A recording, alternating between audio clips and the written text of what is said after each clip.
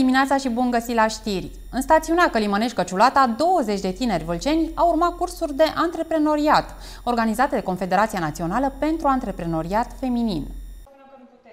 Zilele acestea, o delegație condusă de Cristina Chiriac, președintele Confederației Naționale pentru Antreprenoriat Feminin România, a vizitat județul Vâlcea. Pe lângă seria de dezbateri pe care a avut-o cu reprezentanții ai diferitelor instituții despre proiectul România Turistică între impas și oportunitate, vizita în județul nostru s-a materializat și într-un curs de antreprenoriat. Spate, când sunteți voi cu voi, e bine să puteți să vă răspundeți la întrebarea asta.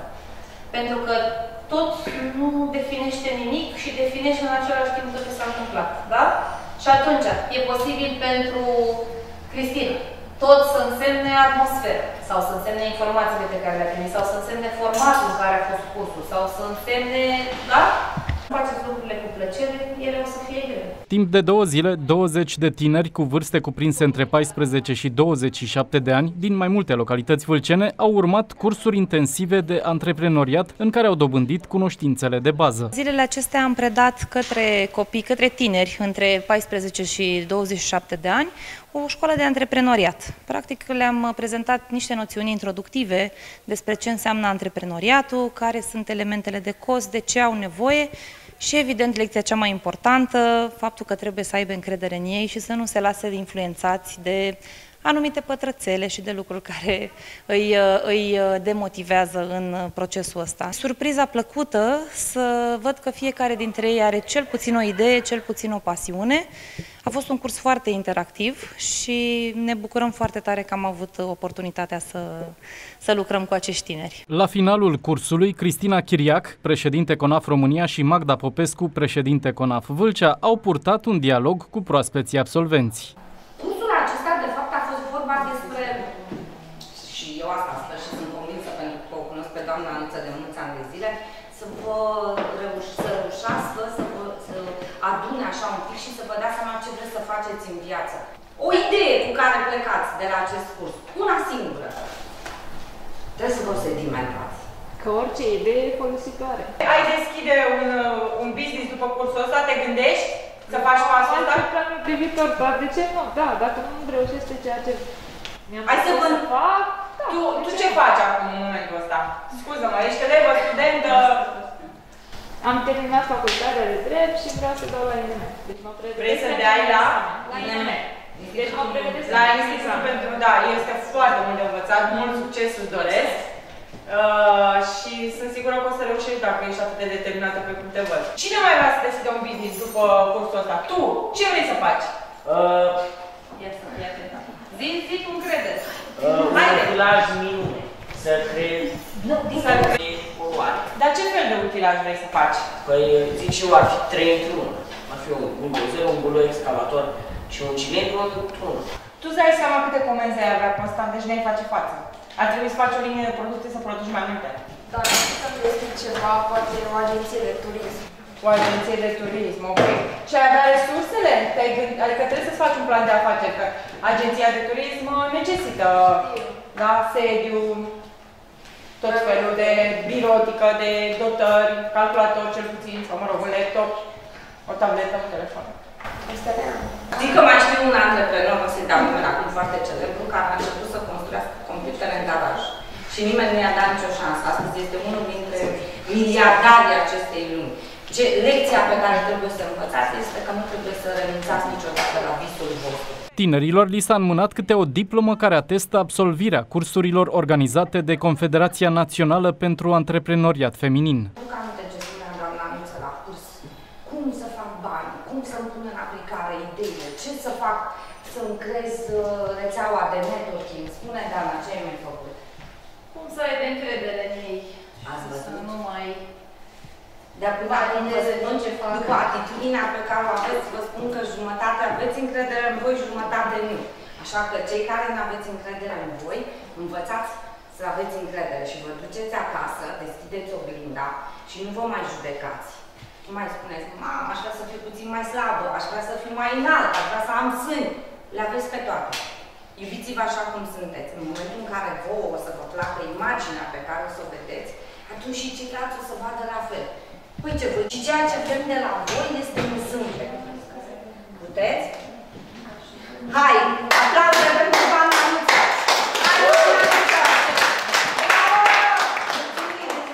Și pentru că am primit și aplauze și zâmbete, uite, așa, trebuie să semnez și las pe doamnele să vorbească. Haide, doamna Marta! Bun. Deci, voi nu vreți să... Aveam o discuție interesantă cu tine. De, deci, te gândești să începi un business, nu? Dacă... Cine mai vrea să deschide un business după cursul ăsta? Tu! Ce vrei să faci? Uh, Ia să ia atent. Zi, zi cum credeți. uh, un Haide. utilaj minune. Să creezi Să... poluare. Dar ce fel de utilaj vrei să faci? Păi zic și eu, ar fi trei într-unul. Ar fi un, un buzelă, un buloi excavator și un cilindru într-unul. Tu îți dai seama câte comenzi ai avea constant, deci ne-ai face față. Ar trebui să faci o linie de producție să produci mai multe. Câți ani își are? 14. Mulți înainte. Cine mai vrea să deschidă un business după cursul ăsta? Tu, cu garajul, cu mecanic, deci la tine afacerea e sigură. Nu sunt probleme. Fetelor, frumușața a doua, cum te cheamă? Andreea. Andreea. Dar să-mi deschid ceva, poate o agenție de turism. O agenție de turism, ok. Și ai avea resursele? Te-ai gând... Adică trebuie să-ți faci un plan de afaceri, că agenția de turism necesită da, sediu, tot felul de birotică, de dotări, calculator cel puțin, sau mă rog, un laptop, o tabletă, un telefon. Asta le am. Le ai. Bun. E, acum de când și cu pandemia, să, să, fun- să poată să funcționeze agenția de turism și de acasă, mă gândesc. Nu știu, prin telefon, online. Bun. Hai să... Doamna Chiriac. Doamna, o lăsăm pe doamna Nuță, că Beatrice Ștefănescu. Bravo, Beatrice! Andreea Ștefănescu. Bravo, Andreea! Sorina Joică. Hai, Sorina, bravo! Manea Maria Georgiana. Bravo, bravo, Maria!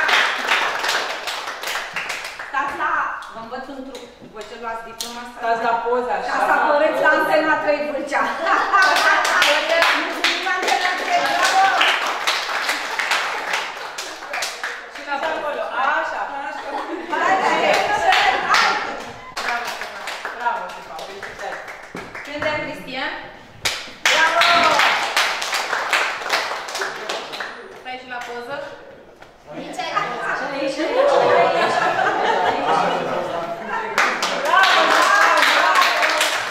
Florin Adelin. Ia uite-mă pe minunat. Bravo. Bravo. Fii atent că trebuie să mă plimb cu utilajul. Strandul din Ostroveni este preferat de turiștii din județele apropiate și, în această perioadă, și de românii întorși din străinătate. Cei mai mulți se arată mulțumiți de condițiile oferite, dar și de tarife. Strandul din Ostroveni a avut succes încă de la începutul sezonului, iar acum, în luna vacanțelor, românii plecați la muncă în străinătate, întorși în țară și turiștii din județele apropiate iau cu asalt plajele din Râmnic. Cei mai mulți sunt mulțumiți de condițiile oferite de baza de agrement, dar și de modernizările făcute în ultimii ani. Foarte frumos. Apa curată, este totul ok. De unde sunteți? De la Otești, județul Olt. Este a patra sau a cincea oră care vin. Venim cu familia, cu nașii, un pic de vacanță așa spre sfârșit de vară. N-am mai venit de câțiva ani de zile și mi se pare foarte, foarte amenajat. Deocamdată de-abia am venit să vedem despre ce e vorba mai încolo. Ultima oară, acum 5 ani am fost, veneam, zi, veneam uh, anual. Dar acum n-am mai venit o perioadă, mi se pare super ok. N-am mai fost de ani de zile, dar m, cum era înainte, față de cum era înainte, e, e frumos acum. Cât ați dat astăzi pe un bilet? Uh, 15 lei. Bă, anul ăsta am venit de vreo 7 8 De câți ani ați venit? Ați venit când era și... De câți ani? Bă, de vreo 30 de ani, 40 aproape. Bazinele cu apă sărată sunt preferate de cei mai în vârstă, iar cei mici și tinerii preferă bazinele cu apă dulce. Turiștii din județele apropiate sunt dispuși să facă de mai multe ori pe an naveta pentru a se bucura de câteva ore la strandul Ostroveni. De cât timp veniți aici? Este al doilea an. De ce alegeți să faceți un drum până la Râmnicu Vâlcea? Uh, pentru sănătate, în primul rând. Preferați apa sărată? Da, preferăm apa sărată, da. Veniți în fiecare zi, faceți naveta sau cum? Dorm aici. Rămâneți în Râmnicu Vâlcea? Da. Am dormit și în mașină, am avut și cabană, dar de seară mă duc acasă. Plănuiți să mai veniți vara aceasta? Da, păi, săptămâna altă iar viu, dar nu știu câte zile mai stau. De ce faceți un drum de la Pitești până la Râmnicu Vâlcea pentru apa E, sărată? am venit și ieri și azi, pentru că e foarte bine aici. E, și îmi place uh, grupul sanitar, e aranjat. Dacă Mâncarea ține e tot bună? așa, mâncare se găsește bună în funcție de ce plătim. Unde rămâneți peste noapte? Nu rămânem, facem naveta. De câți ani veniți aici la Râmnicu? După 3 ani. La cât ați plecat azi dimineață de la Olca să ajungeți? La 7 și am ajuns la 9. Și merită. Da, foarte bine. Merită ca lumea, nu așa. Mulți compară condițiile de la strandul Ostroveni cu bazinele de apă sărată de la Ognele Mari și nu numai. Vin pe fiecare an aici, la strandul De câți ani veniți aici? 5-6 ani cred că sunt de când venim la Râmnicu Vâlcea. Venim la Ostroveni și mergem și la Ognele Mari, dar ne place mai mult aici, după când l-a făcut uh, mai frumos, mai amenajat. Acum nu e nimic asemănător ca aici, nu, nu. Apă sărată în Spania nu este. Și atunci aici veniți și vă Preferăm bucurați. să venim aici, da, suntem mult mai mulțumiți și ne simțim mai bine ca în Spania. Înainte treceam pe aici și mă duceam la Ognele Mari. Iar uh, după aia am considerat că aici e mai bine decât la Ognele Mari, spațiu mai mare. Vin aici de când s-a înființat, de când era o singură piscină de asta. E mai curățenie aici, mai altfel. David are șapte ani și a venit tocmai din Slatina pentru a se bucura de bazinele cu apă dulce de la strandul Ostroveni. Mi se pare cam bine un pic. Ce-ți place ție să faci la strand cel mai mult? Um, Să mă arunc și să înot mult și să mă bag cu capul. Bună! Bună, prietenii mei! Grădina zoologică din Râmnicu Vâlcea este preferată în zilele călduroase de vară de către familiile care au copii. Cei mici se pot bucura de o plimbare în compania animalelor, dar și de spațiile de joacă. Grădina zoologică din Râmnicu Vâlcea este un loc de relaxare preferat de familiile cu copii. Zilnic peste 1000 de persoane vizitează animalele de la grădina zoologică, iar în weekend numărul vizitatorilor este în creștere. Este o atmosferă plăcută, oamenii vin în număr mare, avem parcuri, umbră, foișoare, animale, spații de joacă, spații de fitness, nu se plictisesc. E chiar a devenit o promenadă această grădină zoologică. Cam câți vizitatori aveți într-o zi obișnuită? Într-o zi obișnuită avem cam peste 1000 de, de vizitatori. În weekend depășim 3.000-4.000 de, de vizitatori. În ceea ce privește condițiile de trai ale animalelor, în această perioadă caniculară au fost luate măsuri speciale de îngrijire și hrănire a acestora. Hrană specială, avem uh, un uh, medic veterinar care a făcut o, uh, un rețetar pentru fiecare animal în parte, pentru această perioadă caniculară. Uh, apa se schimbă de 3 ori pe zi, chiar de 4 ori de câte ori este necesar. Uh, le uh, facem uh, baie cu furtunul la animalele care uh, pot fi uh, udate.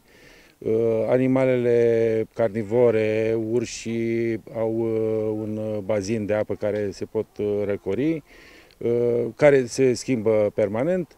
Avem și o fântână arteziană. Câteva specii s-au înmulțit, semn că au un mediu de viață prielnic, spune administratorul grădinii zoologice. Avem uh, niște pui de macaci care uh, uh, s-au născut în grădina zoologică, care sunt foarte vioi și uh, lumea uh, e foarte entuziasmată, mai ales copiii. Mai avem uh, niște pui de uh, pavian cu mantie, care s-au născut în, uh, în grădina zoologică.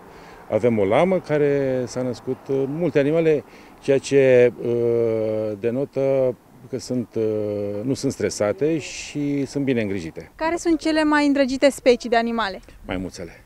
E, bineînțeles că maimuțele uh, și, în general, uh, animalele mai, mai mici, căprioare, uh, uh, fazani, avem papagali, multe specii de papagali.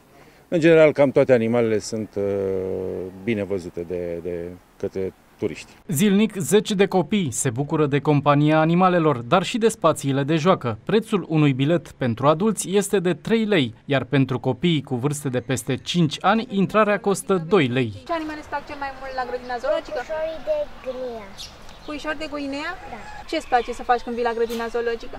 Să mă uit la păianjen, să mă joc și cu puțin cu păcușori de grinea și să mai, și să mă uit la maimuțe. Crocodilul, șarpele și tigrul. Cât de des veniți la grădina zoologică? În fiecare Aproape zi. În Fiecare fiecare zi, da. Zilnic. Și care este tariful acum la grădina zoologică? 3 lei. 3 lei adult. De adult și copii mici peste 5 ani, 2 lei. Știrile au ajuns la final. Nu pierdeți în câteva momente matinalul Fi Antenă. Noi ne vom revedea la ora 15. O săptămână excelentă să aveți. Pe curând!